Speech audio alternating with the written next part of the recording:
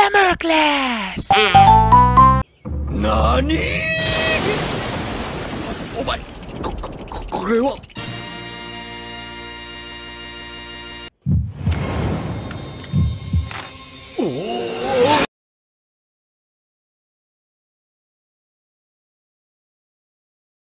So hello, so this will, this will be the part 1 of your handout. So kung hindi nyo pa na-download, download nyo na sa Messenger. Meron ako nilagay na link doon. So part 1, we'll be discussing what is work, Classification of work, elements of work, workplace, disputes and disagreements, what is toxic workplace, the different terms regarding a toxic workplace, what is workplace ethics, mga values to to be uh, productive in a workplace or the different values needed to maintain the workplace ethics. What is Filipino work ethics? Meron kaya tayong work ethic? What is value? What is value system? Personal value system? The categories. Filipino cultural values. Ano yung inherent na mga values natin as Filipinos? Ayan, mga strengths and weaknesses of the Filipino character. And yung breakdown niya. Kaya to. So, tatlong books po yan na pinulate ko lang. So, credits to the authors. so, part 1. Ah, uh, punta muna tayo bakit ko nilagay ito. So, itong mga to, mga topics na to is we needed to put it uh, to include it in, in your subject professional ethical standards because it directly parang it directly affect kasi eh. So you parang if you understand what is work then you, you will not fear many defeat. Yung parang sa Sun Tzu, Art of War na if you know your enemy, and you know yourself, uh, you shall not fear a hundred defeat. Di ko alam. Di, nakalimutan ko na yung quotation ni Mr. Sun Tzu. So, so yun. Let's go to the discussion. So, work. So, meron, pasahin nyo na lang actually yung definition niya. Pero, um, in short is, in summary is, it actually refers to yung standard na work or yung tinatawag nilang 8 to 5 p.m. work wherein papasok ka ng 8, mag-off ka ng 5, parang uwi ka ng 5 o'clock. So, maraming klase ng work. So, meron yung contractual, merong full-time, merong part-time, meron pang iba. And yung experience ko dito is uh, yung how will I describe my experience in work is that it is very very systematic na you need to do something in order for an organization to function. So for example um, nung nag-work ako sa Poso alam niyo yun yung first work ko actually is parang nakatalaga kami sa panhuhuli or nakatalaga kami sa traffic management part niya.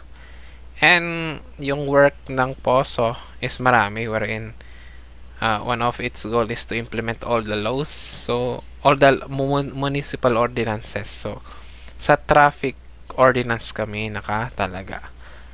And it's super hard kasi 8 to 5 kang nakatayo sa street. Init at pagod at mayroon pa yung mga ano ba yan? Matitigas na ulo na mga kababayan dyan. Joke lang. And it is rule bound. So hindi ka basta-basta gumagawa ng kahit uh, ginagawa yung gusto mo. Kasi may mga rules na dapat mong i-follow. So for example dapat naka-uniforme kami or dapat may maximum tolerance ganun. May mga yun mga rules kaming i-follow bag para hindi masira yung masira yung image ng poso sa Lagawe. Ngayon is Mags na yung pangalan niya. And merong rason kung bakit napalitan yung pangalan niya from Poso to Mags dahil may sumira sa image kasi pero hindi ko na i-discuss kasi medyo maselan. And it is real. So, you will really, sa pag-work, you will really feel the imasness and ganacity of working. The imasness is uh, 15 days is may sweldo kayo. Kahit mababa, basta may sweldo, di ba? Yung ganacity is yung Ah, basta, yun, basta yung kahirapan ng work or any yung mga hardship ng trabaho. So, yung mga hardship na pinagdaanan ko nung nasa poso ako is yun, mainit, mapagod at yung worst is yung pakikipag-deal sa mga violators ng ordinansa. Especially yung mga mga gagawang tricycle drivers. Joke lang. Joke lang. So, yun. So, sabi dito is work is a part of man's life. So, I want to emphasize that one because it will really consume your lifetime. Imagine, uh, you will spend uh, so, pagkatapos mo mag-graduate is you will spend um, the most part of your life working. So, uh, as uh, parang first year pa kayo or second year na, di ba? Is pag-isip-isipan nyo na na it will work will become parang it will consume parang most part of my life in the future. So after graduation, it will consume most of my life. So piliin niyo yung gusto niyo. Gusto niyo ba talaga magpulis, mag-fire, mag-jail, mga ganun. So, para hindi kayo mahirapan in the future, hindi kayo may stress, hindi kayo magka-midlife crisis or quarterly life crisis, is pag-isipan niyo na ngayon kung ano talaga yung gusto niyo. At magtanong-tanong kayo kung ano yung mga um, mga magagandang at magaganda at um, pangit na experiences nila sa works nila. Marami namang graduate na graduate ng crim na pwede niyong pagtanungan, di ba? Mga police na, mga manongs and manongs niyo. Kasi ako is wala ako sa PNP. Nasa teaching ako. My choice. Pero parang basta. Hindi ko nasasabihin sa akin. So, work is classified into mental work and physical work. Uh, other classification is blue collar or manual work and knowledge workers. Uh, so, mental work, ito, ito yung mga jobs or mga work na mostly is ginagamit nila yung utak nila. Like, teaching, counting, bookkeeping, and etc. Sa physical is yun, laborer, janitor, construction worker which sa physical work is mostly ginagamit nila is yung uh, physical ability ng isang tao. Yan naman sa other classification, blue collar, yung mga sabi dito is includes those who account for direct direct labor costs. Knowledge workers naman, accountants, clerks, tellers, programmers.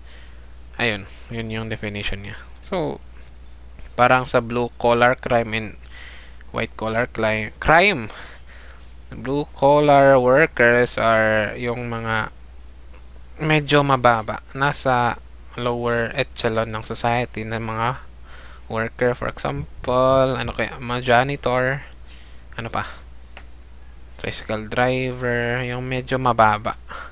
Yung knowledge worker naman or yung mga wicked safe to say na ito yung mga white collar workers. So ito yung mga medyo mataas na um, accountants lawyer ganun supervisor. Ayun. So yun. What is the elements of work? So sa acronym ng work the W-O-R-K willpower. O is for objectives R is for responsibility K for knowledge. So W work is parang It is composed of W willpower. You really need this one kasi nung poso ako is kailangan meron. Merong willpower ka na bumangon mismo. Nga, bumangon sa para magtrabaho. Sa akin is talagang kinailangan ka to. Kasi ang hirap bumangon pag umaga. Parang ayaw mo nang pumasok ganun. So, you motivate some yourself either internally or imo-motivate ka ng ibang tao so that you will conduct work. Ganun. Objectives. There will be no work without uh, yung mga gagawin nyo uh, in that day. For example, so sa PNP, meron yung tinatawag nilang pagpapasok kay briefing muna kung saan kayo kung saan naka-assign yung task, daily task ninyo. Um, either sa traffic uh, or investigation or any other unit is i-brief muna kayo bago kayo mag-proceed sa task ninyo. And responsibility. So, in every profession, actually, may responsibility ka or in every work, you have the responsibility. Because, uh, for example, uh, po, so is we have the responsibility to parang to do our job well para hindi masira yung image niya or yung mismong sa PNP is they're responsible. They have the sense of responsibility because maybe because they love their country that they join the PNP or any other uh, parang mot motivations and intentions like para sa parang ano sa responsibility you know that already. Knowledge perception understanding wisdom. So uh, of course uh, may manifestation yan kapag mag-apply ka. So may, parang may minimum qualification for a job for example PNP minimum classification niya is college graduate uh, or hindi pala hindi pala college graduate. Passer of any board exam courses ganun. Pero ngayon na is si Grace po ata ba yun? Yung gusto niyang kahit yung senior high graduate daw parang what the heck? That's weird man. Parang pinabababa niya yung parang limitation ng knowledge wherein it will parang it will take a toll or it will be a bad it will have a bad effect in the force kasi marami mar ang rami na nga nang undergrad na ay graduate na walang trabaho is parang for example maraming mga cream graduate na walang trabaho is parang ipagka parang lalagyan mo pa ng uh, competition ganun. Yun lang. Another term workplace. So workplace is it's where you conduct your work. So sa mga call center sa office nila sa PNP is actually yung lahat ng work nila is national in scope I think. Pwede sa Sulu pwede sa Batanes ganun. Pero generally it is uh, the place where you work. So basahin niyo yung definition niya. Yun. Okay let's go to disputes and disagreements. So basically ito yung sinasabi kong it directly affects your professional conduct kasi uh, uh, disagreements may parang change your parang pagiging parang it will change your uh, your thinking or it will affect you and you may you may act in unprofessional or professionally. So, yun yung, yung parang example for the direct effect of it. so, let's go now to disputes and disagreements. So, disagreements is sabi dito is inevitable. Hindi mo yan uh, you can, hindi mo yan maiiwasan. Hindi mo yan maiiwasan kasi you are dealing with people and you are dealing with people and when you're dealing with people or for the people is sometimes you sometimes conflicts or disagreements occur. Nga sa bahay is marami di ba? Sa kapatid mo sa nanay tatay mo ganun. So ano kayang mga causes ng disagreement? So so number one So wage and salary that are not fair and commensurate to the difficulty of the job and responsibility inherent to it. Number one, syempre. So, for example, if you, mahirap yung trabaho at yung sweldo mo pa is napakaliit, syempre, it will be the root of the one of uh, disagreement It's between you and yung nag-hire sa'yo. Kasi nga, yeah, ang hirap-hirap ng trabaho tapos ibibigay lang sa'yo is mababa pa. So, mm, marami ng cases dito. Marami I think it is one of the usual cases na fina-file sa DOLE wherein ah, meron pa yung mga mm, mga establishment wherein hindi nila fina-follow yung mga provincial rate na provincial rate or city rate ng salary dapat. Pero anya ngay mm, meron ganun na anya ngay nga hindi kahit ganun is hindi natin rin report kasi maraming kakompetensya sa trabahong yun, di ba? So, yun. Poor working condition. One of the causes for disagreement is uh, the working conditions is, for example, not safe. So, kapag medyo dangerous yung uh, kung saan ka nagtatrabaho, yun, is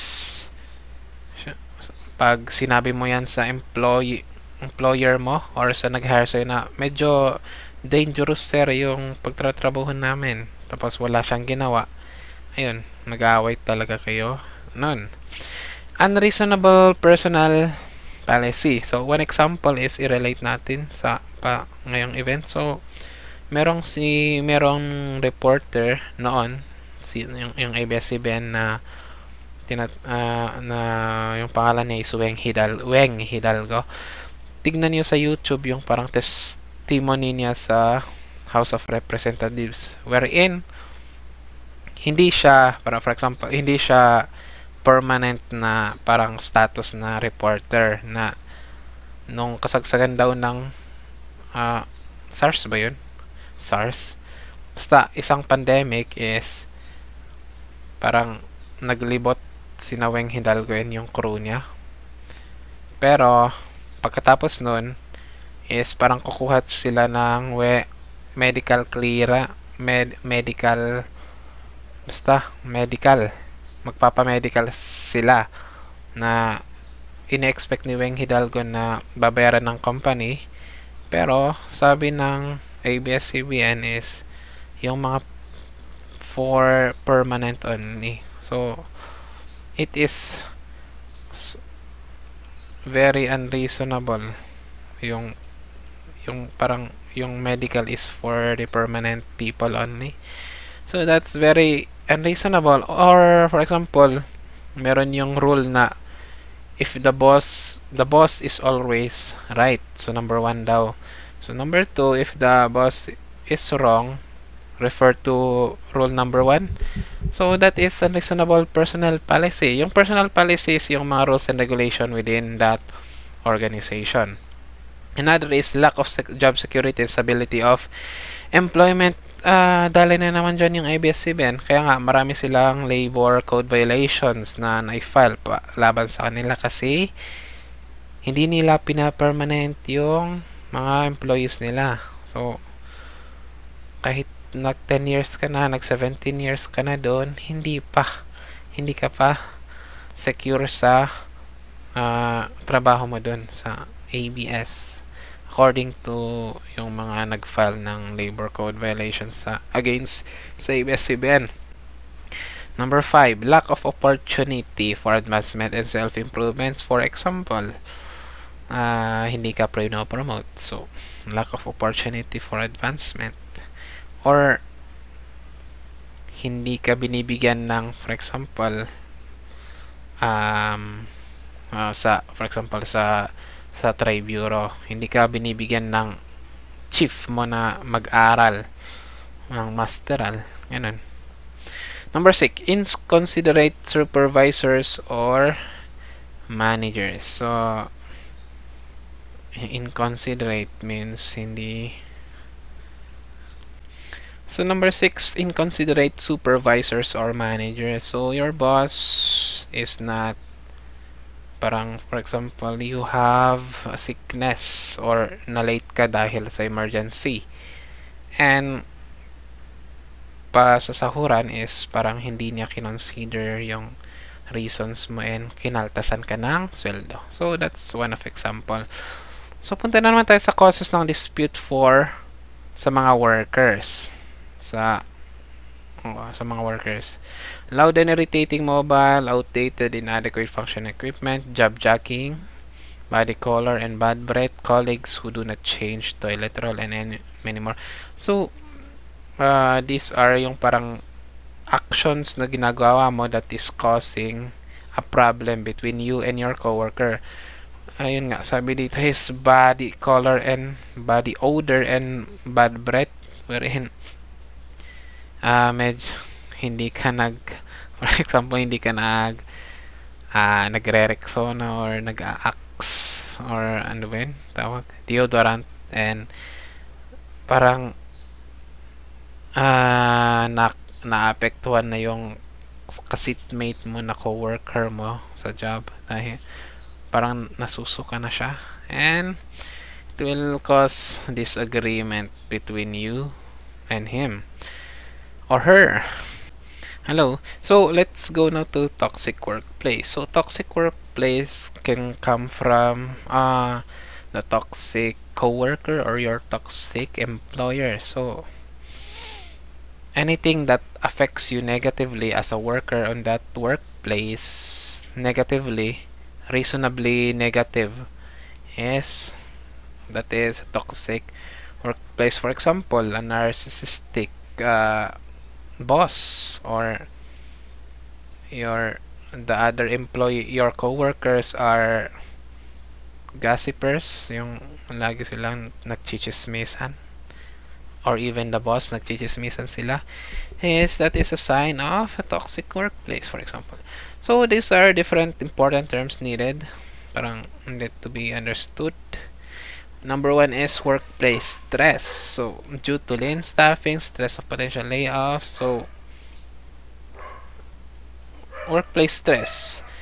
So due to toxic workplace you experience workplace stress. So for example meron uh, nag-apply ka sa establishment wherein mas parang ang rami yung ginagawa na hindi nag-hire parang nagtitipid mag-hire ang boss nyo kasi parang magastos sa kanya and yung effect niya is mas marami kayong ginagawa or sabi dito stress of potential layoffs walang job security ayun that is workplace stress So, workplace aggression. So, one example is PNP or sa atin, sa Ifugao, meron yung case na nagiinuman sila. Nagiinuman yung mga mga police. Tapos, yung place na ito, uh, pinatay, pinaltugan na jay dado mga police. At, ayun, patay.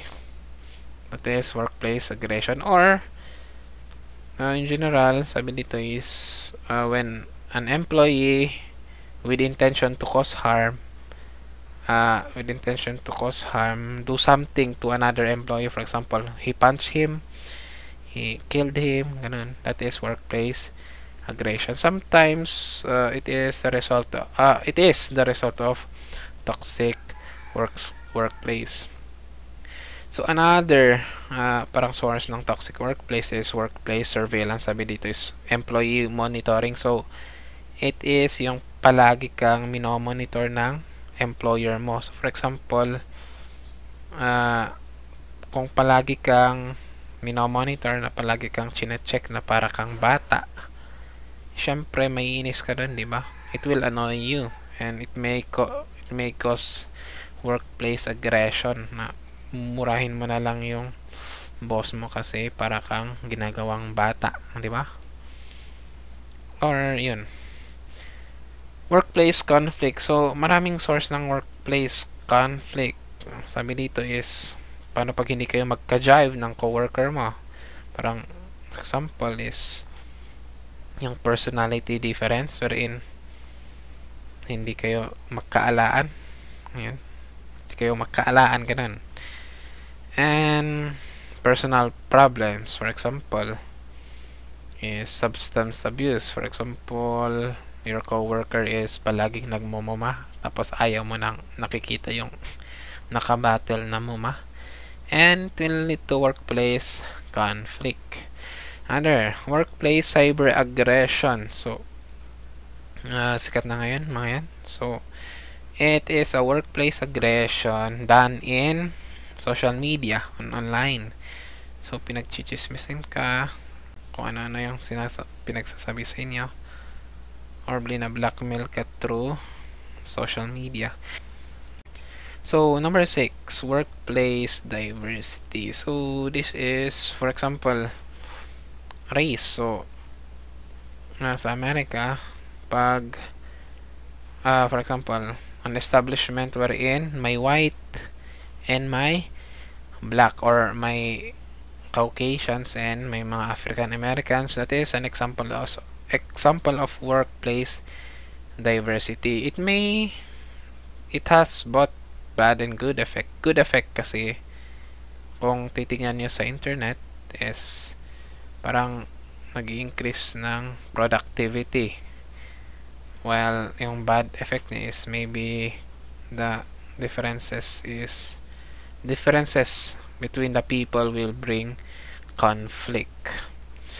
Workplace empowerment. So there are many kinds of workplace empowerment. So, for example, is giving, kung ako yung boss, binibigyan ko ng reward yung pinaka-productive na, na, na employee ko. For example, binibigyan ko siya, siya ng award na employee of the month and dinadagdagan, parang binibigyan ko sila ng 5 days vacation pag employee of the month ka. So, parang ganun. Workplace environment. Or, nag-o-offer ka ng training, management training sa mga deserving na tao. Another is workplace politics. Workplace politics is actually can be good or bad and it is actually it's the using of your power as an employer employee or the people or your employees to achieve something So, for example, if I'm the your employer at bias ako, parang binibigyan kong parang uh, more attention or binibigyan ko ng palaging reward yung mga babae lang is parang that is the bad effect of workplace politics. And yung good naman kapag uh, I am using my power uh, as an employer to to achieve yung parang group group goals namin. So yun. so number 9 is workplace safety.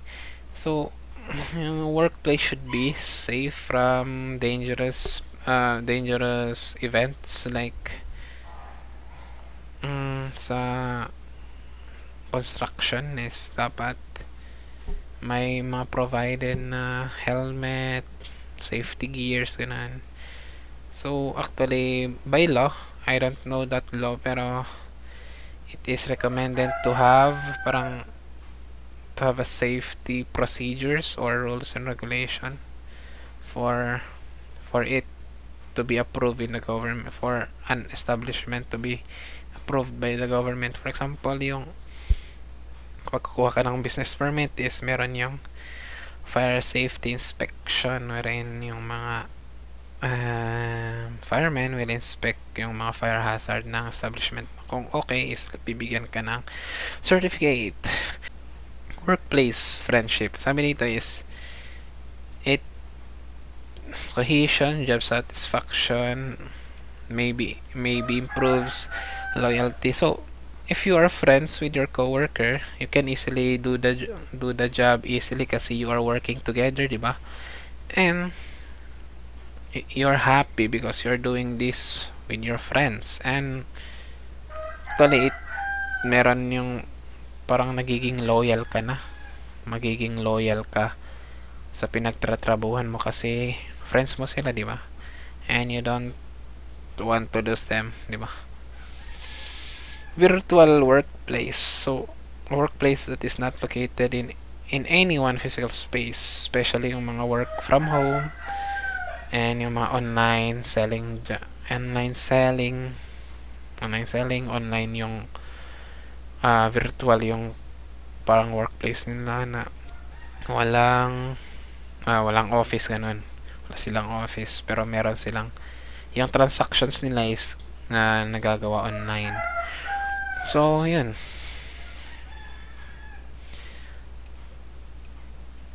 Okay, let's go now to workplace ethics. So workplace ethic is the way an organization or an establishment govern themselves or the employee on how he conduct themselves or the morality of the people inside that establishment. So, ayun.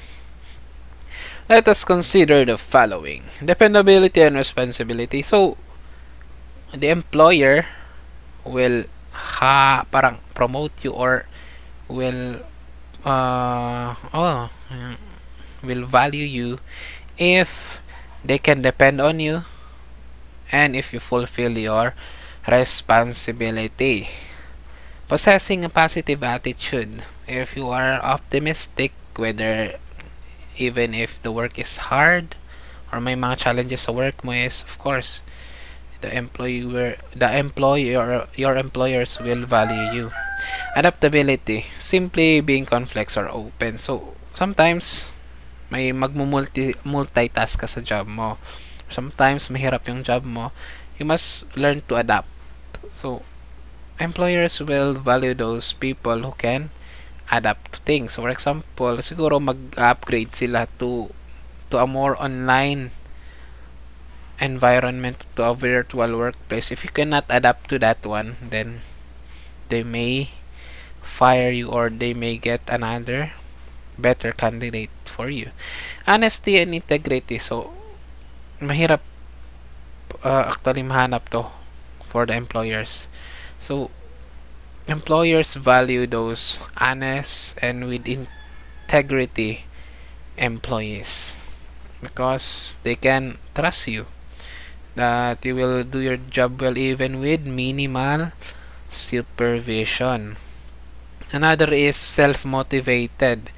So, if your employers, uh, employers always value those people who are always nagiget, di ba? Yung parang they don't need parang incentive to motivate themselves. Uh, it's just their parang nature to to be motivated all the time. And they always do their job they always uh, pass the their reports on time. They're always do their parang responsibility on time.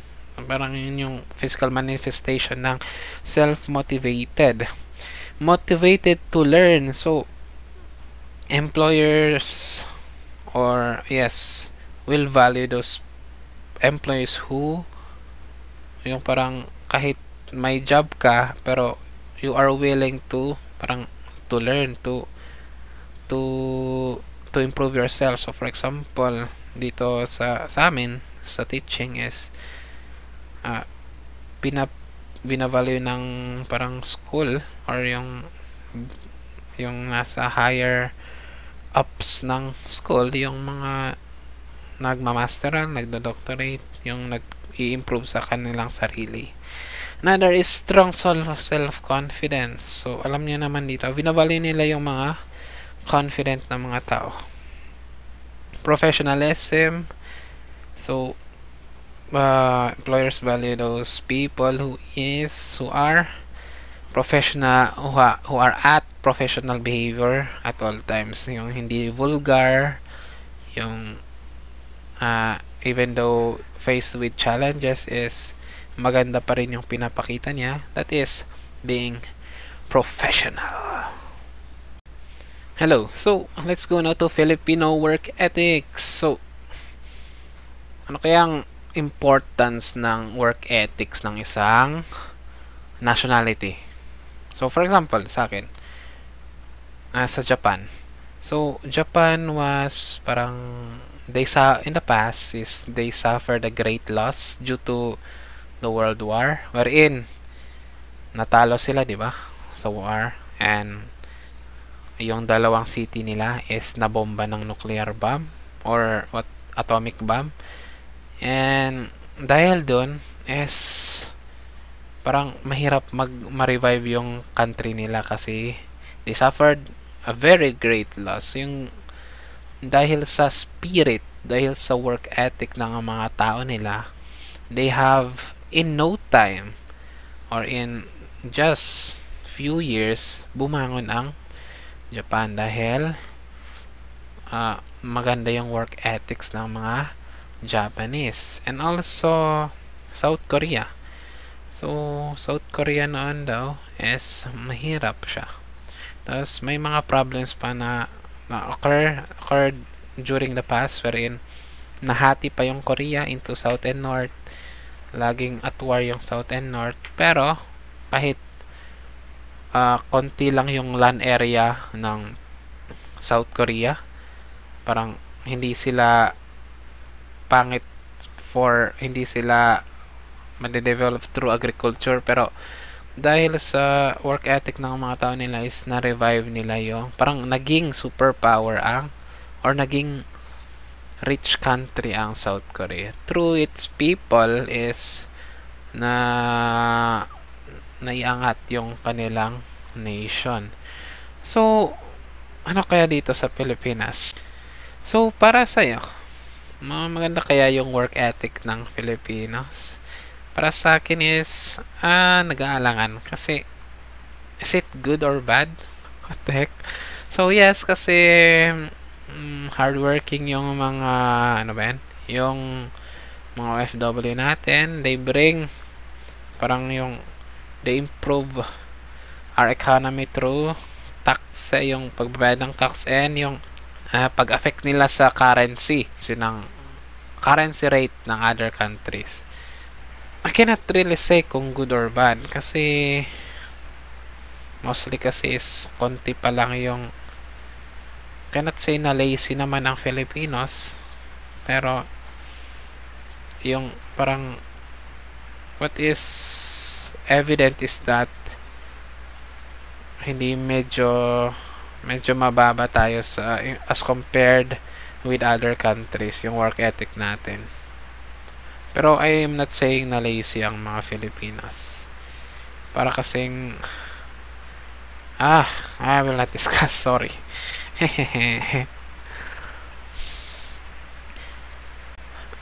ah. I will not discuss that. Hello. So let's go to value. So value is dito yung definition. Pero in overall is ito yung parang goal na ina-achieve ng isang organization para maging uh, para ma-form na habit siya. For example, if their parang their value ka, na gusto nilang palaging ina-achieve is excellence is in every actions na ginagawa nila is dapat silang they must do always their best para ma-achieve yung value na excellence. So, it is a goal. Ano naman yung value system? So, compilation yan ng mga values. So, parang list of values na gusto nilang i-achieve. And it is mostly used to describe that organization. Personal value system. So, it is your value system as an employee, ganun. Kung ano yung palagi mong ginagawa or palagi mong gusto mong i-achieve sa sarili mo through your habits or actions. So, yun. So, there are four categories of personal value system. Per personal values, spiritual values, family values, career values. So, just read this one. It is really very understandable if you just read it. And there are uh, as Filipinos there are Filipino cultural values. It is parang ito yung pinak parang palaging na-observe sa isang Filipino. Or ito yung yun oh ugaling Pilipino or ugaling Pinoy na unique sa atin eh, unique sa atin so ano kayang mga to so there are strength and there are weaknesses. So let's go to the strengths and the weaknesses of Filipino character. It will be a short run, short rundown kasi marami na yung MB ng ating video. So we'll just give an example to this strengths of the Filipino character. Actually, these are character traits uh, unique to us Filipinos. Wherein uh, it is parang kapag nandito ka sa Filipino, ah, as compared to other countries is we we we weirdly and uniquely have this thing. So pakikipagkapwa-tao, this is very uh, very unique to us Filipinos kasi for example, yung bayanihan, 'di ba? Uh, noong unang panahon is yung tinutulungan natin yung neighbors natin kapag mag papalit sila ng location ng bahay, 'di ba? Or bibigyan magbibigay tayo ng tulong sa kapwa natin kapag nangangailangan sila. So, especially to our families, to our relatives and neighbors. Pero parang I think nawawala na na as time goes by dito sa Pilipinas is nawawala na ito. Pero hopefully ma-retain natin to family oriented so in other countries yung mga uh, kanilang mga elderly yung mga matatanda is linalagay nila sa elderly home. Yun yung parang parang hospital ng mga or adoption houses ng mga matatanda.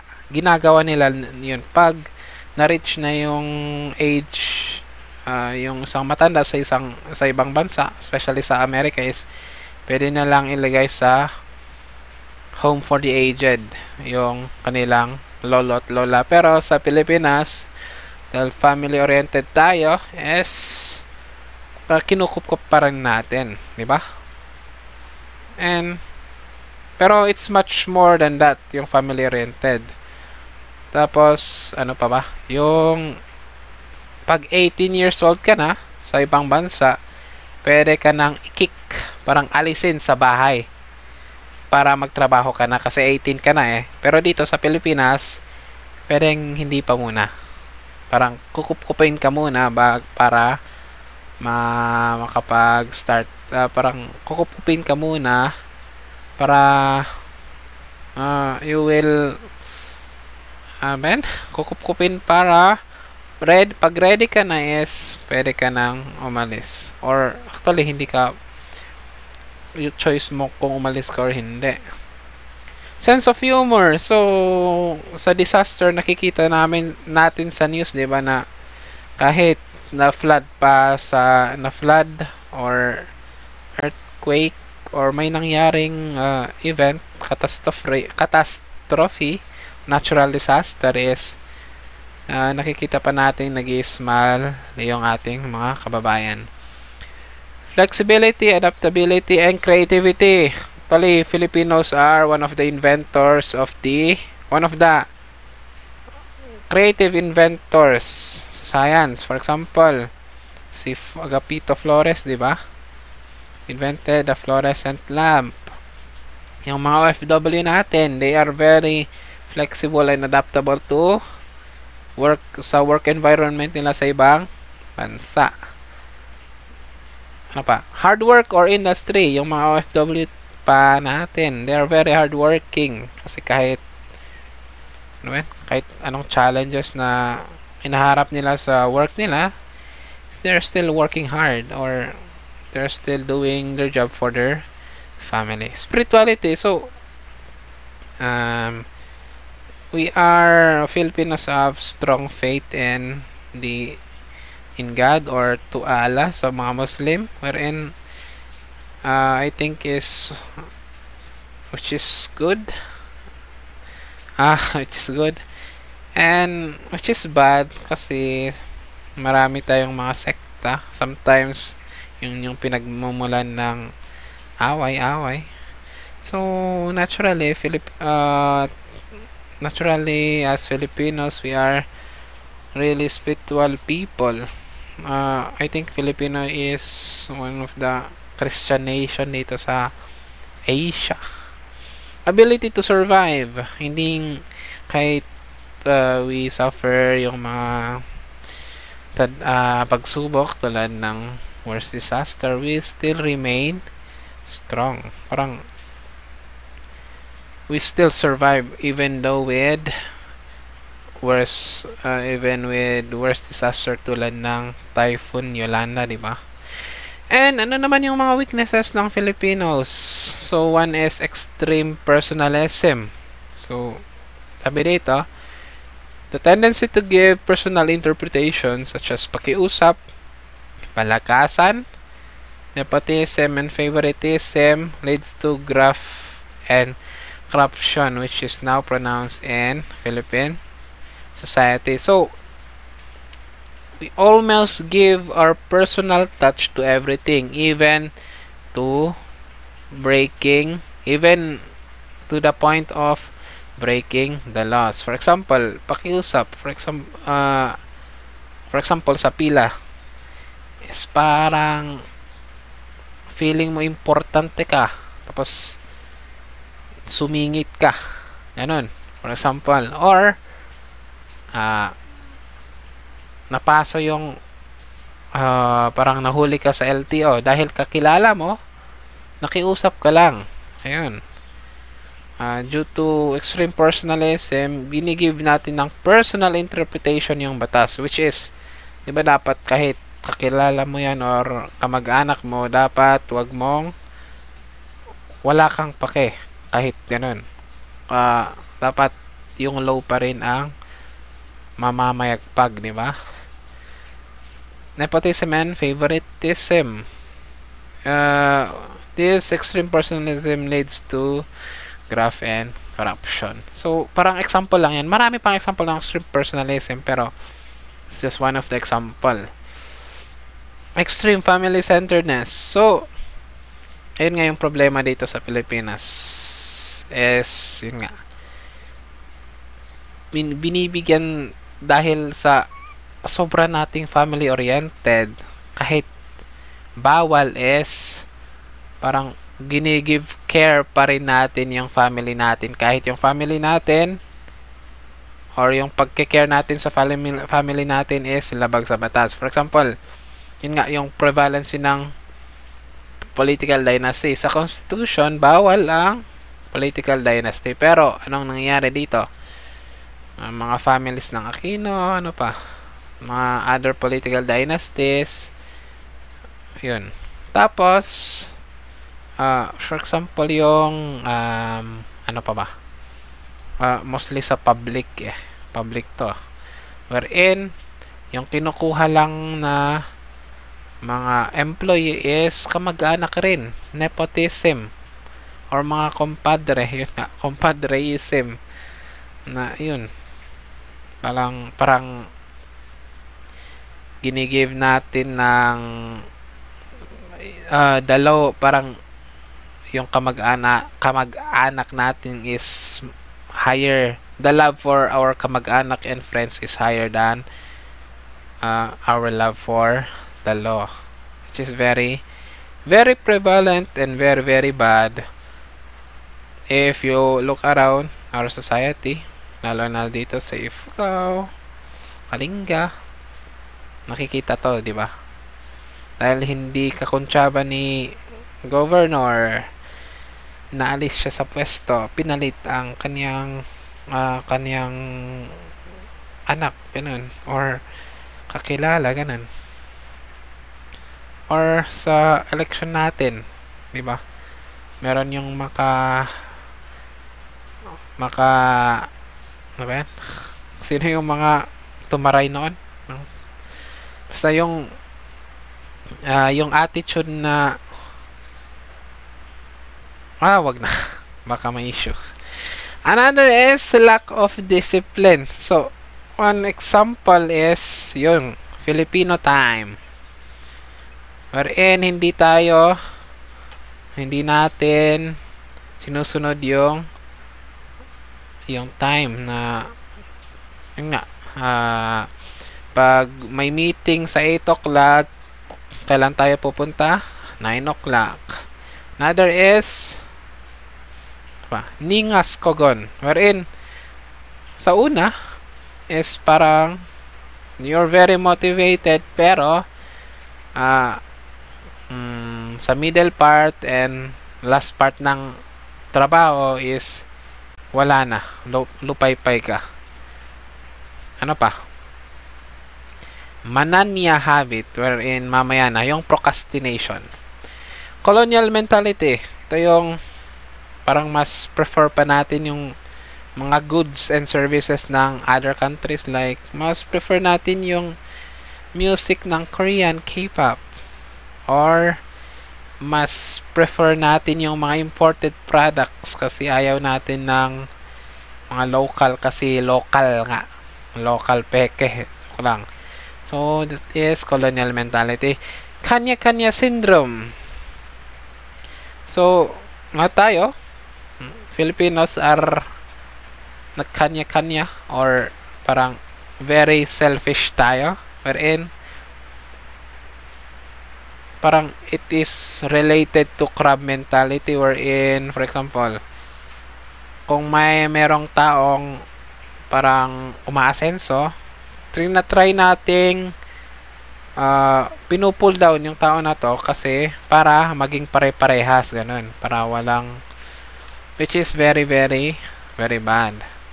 Lack of self-analysis and self-reflection. So nagmamanifest siya sa election na for example may candidate na ito yung candidate na to nanalo.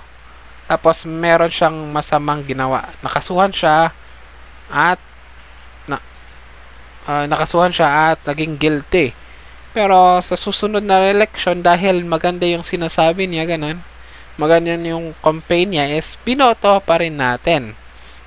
Nag ano ba yan? Nagbudots lang siya, binoto natin. Yun, lack of analysis and self-reflection. And there are, uh, according to article in Florendo, several unethical practices in an employer's part wherein yung boss mo nagharas ng mga babae. Commonly sa mga babae to ah bribing government official. So, example is